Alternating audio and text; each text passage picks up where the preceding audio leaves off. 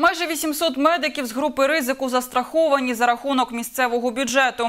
Про це повідомили сьогодні у мерії. В кожній медустанові головні лікарі визначили не тільки співробітників, які безпосередньо лікують хворих, а й тих, хто потенційно може зіткнутися з людиною, ураженою коронавірусною інфекцією. Дуже важливе питання це захист медичних працівників і тих працівників, які потенційно контактують з інфікованими хворими. Тому місто знайшло таку можливість, і це дуже, дуже важливо. Виділили кошти для того, щоб застрахувати по е, лікарням першого, першої лінії, застрахувати медичних працівників. Це 8 лікарень і 792 медичних працівника. Це перша лікарня, четверта, п'ята, сьома, восьма, одинадцята, чотирнадцята, а також е, співробітники інфекційної лікарні.